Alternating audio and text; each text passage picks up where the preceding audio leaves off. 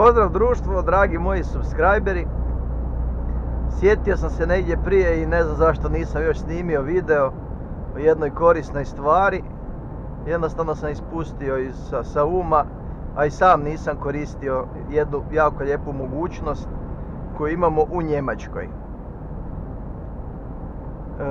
o čemu se radi? Radi se o jednoj aplikaciji koju na Google Playu možete skinuti potpuno besplatno. Znači, odete na Google Play i otvorite ovoga aplikaciju i instalirate na svoj mobitel. Radi se o, o aplikaciji blitzer.de a to je upravo ovo što se sad trenutno nalazi na mom mobitelu ovdje.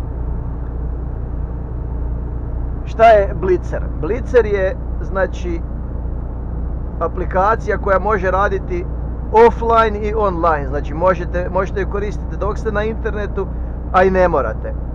Ovu aplikaciju kad koristite offline, znači izvan interneta, ona će bez obzira raditi i pokazat će vam svaku kameru koja je prije zabilježena i koja se nalazi na putu. Da li da je ograničenje brzine ili su radovi ili je sigurnosna kamera za crveno svjetlo, znači na semafori gdje ima postavljena kamera, ako, ako letite na crveno onda vas slika, jel? onda vas ovaj Blitzer D upozorava da je na tom semaforu postavljena takva jedna kamera.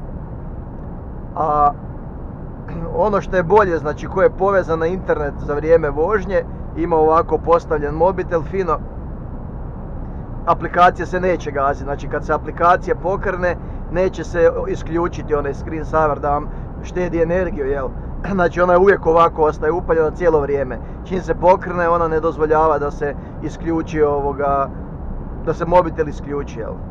Tako da znači ja evo imam uvijek spojeno onda kad ju koristim imam spojeno na, na punjač tako da se ne bi strošila baterija kroz ne znam sat, dva ili koliko bi izdržalo ovako upaljeno. E, znači dok ste na internetu dobra je stvar što e, vozači, znači ja sada ovdje, primjerice da je sad na ovdje na ovom putu vozim se i vidim ovdje stoji kamera jedna, znači postavljena je mobilna kamera koja je mogla biti postavljena prije pa i 5 minuta, 10 minuta, jel? Što znači da, da te kamere Blitzer ne, znači ne može, ne javlja policija, mi smo ovdje postavili kameru, pa da automatski blicer ovoga postavi poziciju kamere, znači da je tu postavljena kamera. Nego to rade oni, svi oni koji koriste, recimo trenutno je 47.445 vozača online. Znači dovoljno ako ja sad ovdje, ovdje sam vidio kameru, ja samo kliknem plusić i kaže pozicion save. Znači sad je, uh, sada je ta pozicija već zabilježena. E sad ja imam vremena da ovdje kliknem na mobile, što znači da je u pitanju kamera. Mobilna za brzinu. I ako je tu ograničenje bilo recimo 50, onda ću ja ovdje kliknuti na 50.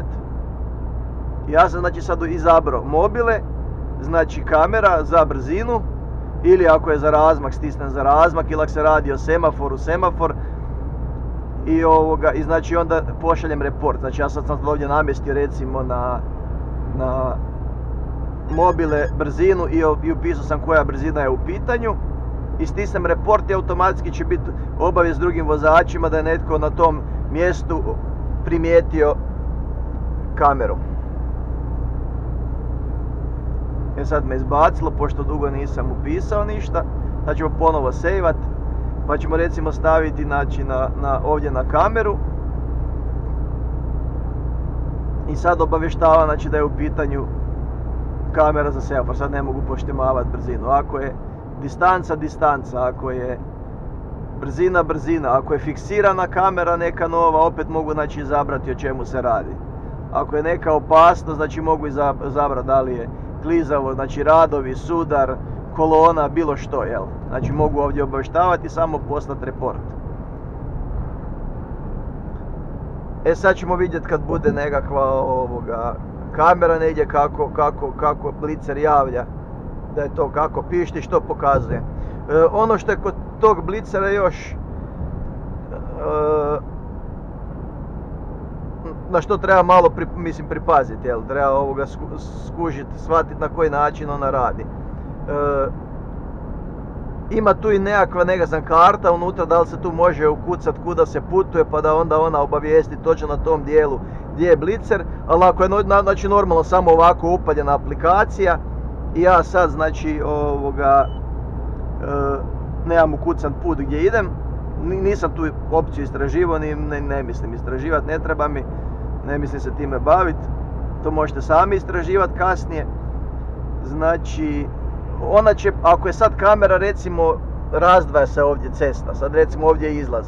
I ako tu na izlazu tamo onoj ulici negdje desno u blizini ima postavljena kamera, meni će se tu pojaviti, znači to ću pokazati, pojavit će se o čemu je riječ i bit će strelica ovako u desno malo. Znači da nije na mom putu, ne mora biti da je na mom putu, može biti tamo na onoj cesti na kojoj ja uopće ne idem. Ali recimo sada je tu, evo na, ovoj cesti gore ta kamera tamo, ja čim ovdje prolazim, ovdje će se isključiti jer znači moj položaj pokazuje da nisam na tom pravcu više isključujem i tu obavijest o toj kameri. Ali uglavnom u svakom slučaju je dobro, jel, znači nije, ako se pojavi tu sada ne, ne znam, ja sam sad recimo tu je ko autocesta, jel. I sada sam ja, da sam da je meni blicalo, sad bez veze tu sporit na, ne znam, 50, pošto tamo pokazalo 50, a pokazalo je ovakvu stranu, znači da se u biti radi o nekoj ulici pored. Samo se oko toga malo obrati pažnja, jel. E sad kad bude nekakva naseljeni dio, onda će biti kamera, onda, ćemo, onda ću vam pokazati kako to u stvari funkcionira, kako se to pojavljuje. E ovako, sad se meni pojavilo nešto, evo čuli smo kako pišti, znači pojavila mi se da su radovi na putu. I sad ću ja obratiti pažnje na ograničenje, naravno, da nije u međuvremenu ovaj trend postavila policija nekakvu kameru, budući da je smanjena brzina kretanja, dozvoljena brzina kretanja. I evo ga sad mi je javilo, znači ja ću nas sporiti još na 60. I sad znači to, i sad ja ovdje šta se pojavilo, mogu znači, ako jesu radovi mogu lajkati ili ne lajkati, evo gore su radovi, već su počeli znako, ja ću lajkati da je to ok, znači da je ta pozicija u redu i da ima stvarno nekakvi radovi. I normalno držat ću se ograničenja sad ovdje. I ako vidim kameru mobilnu, automatski ću zabilježiti poziciju, pošto sam ja online sada, i znači obavijestiti u druge vozače koji dolaze da je, da je kamera postavljena. Znači ovaj Blitzer D vrijedi za Njemačku, znači za Njemačku. I one obavijesti koji, koje budu na radiju e, pa kažu Blitzer, Blitzer, znači to je to je, kako bi rekao, jedna te ista firma, vjerojatno koja to ovoga, imaju te obavijesti po putu, vamo, tamo, jel te sve kamere fiksne su unutra obilježene, kad se postavi neka nova, već neko klikne da je vidio nešto novo, onda isto ovako se pokazuje like neko vrijeme, da se puno puta potvrdi da je stvarno o tome da ne mora neko iz, iz, iz blicera van izlaziti na teren, provjeriti situaciju, da li je to tako, da li je pozicija dobra. Jednostavno ako svi potvrde tu poziciju, znači da stvarno se radi o, o kameri koja se tu nalazi.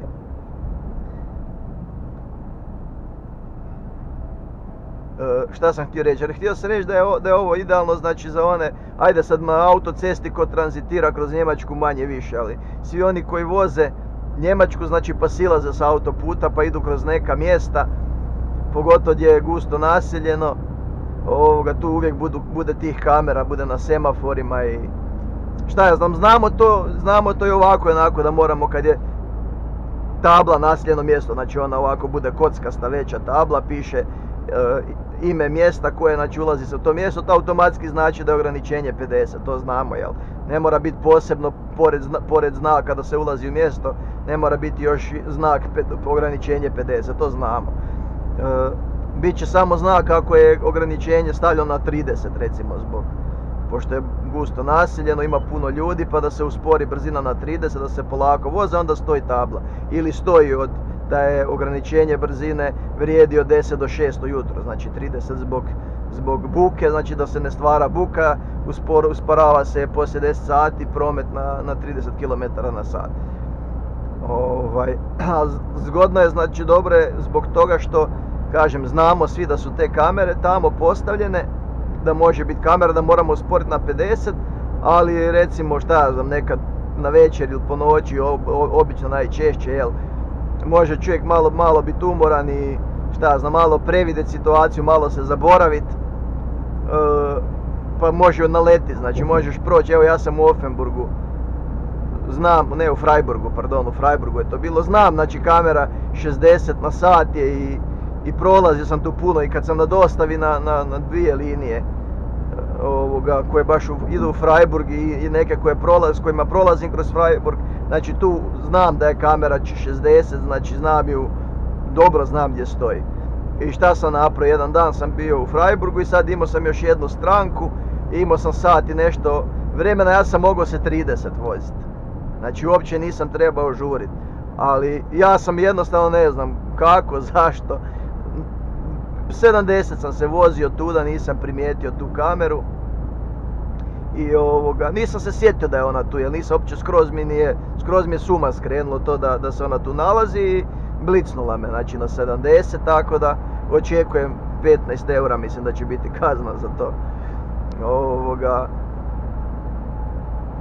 jer uglavnom dolaze te kazne, to je velika slučajnost da nešto ne dođe. Može se, može se dogoditi, ali uglavnom dolaze. E sad, oni sa njemačkim tablicama, jel sad ovo kako ide sa drugima, da li šalju, baš nisam, ako neko ima iskustva da je dobio, znam da je u Sloveniji kolega dobio iz Austrije, Austrijanci to šalju, jel, a sad da li Njemci šalju i za, za druge ovoga, za druge države, od druge države da se traži po tablicama ko je to, za Europsku uniju bi mogli slati. E sad stvarno nemam informaciju. Ako neko ima informacije, neka nam da. Da li neko, ne znam, sa hrvatskim tablicama, sa kamionom, da li ga negdje ublicala, slikala kamera pa da je došlo u firmu i da su tražili ko je vozio kamion da, ovoga, da plati kaznu. Evo, to, to, to stvarno ako ima neku informaciju neka, neka, neka nam javi. I evo ga situacija o kojoj sam pričao, znači sad pokazuje 50 ograničenje, ali strelica znači ovdje pokazuje tamo u desno. Znači, najvjerojatnije se radi o nekakvoj kameri koja je izvan ovog mog, moje relacije koje ja idem. Sad ćemo vidjeti. Evo ona i dalje pišti. A ja imam obavesti, naravno pratim o čemu se radi. Evo ga, već sam jako blizu, znači evo izbacilo je. Vidjeli ste kako se ono gore puni, zeleno bude pa se puni crveno, crveno i onda na kraju ponovo zapišti, ali jednostavno očitalo je moju poziciju da je u stvari idem, da moja putanja kretanja u biti druga, jel da neću tamo naići na tu kameru, jednostavno se isključilo i to je to. Nisam kočio na 50 da, da ovoga, da izbjegnem kameru, jel. Evo ga sada još jedna ista situacija, znači ponovo tamo u desno pokazuje, evo ponovo puni se gore do crvenog, ali se isključilo naravno jer je kamera tamo pored. Znači na ovom sporednom putu, pored. Nema opasnosti po mene, za mene. Evo još jednom. Stuttgarter Strasse, to i piše dole, jel? A ja sam na B29, evo, može se i po tome pratiti. Znači ispiše se ovdje dole, sljedeća je na Kleinhepner Strasse za 4,9 km. Znači, ja ako ostajem na B29 neću naći na tu kameru. Jer već se znači pojavljuju prilike u tom, u tom dijelu ispred mene se pojavljuje. Evo trenutno piše no reports, nema znači ništa. Izbacilo je to. Ja ću sad za 2,2 km izaći sa ove autoceste.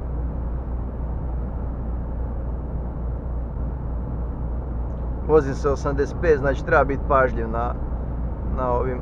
Tamo sam se vozio 60 i 7, 8 je tamo gdje, bil, gdje nije gdje je bila Bundeska, jel? Buduće 60 ograničenja, ali ajde tamo 60. 5 neće niko dirat.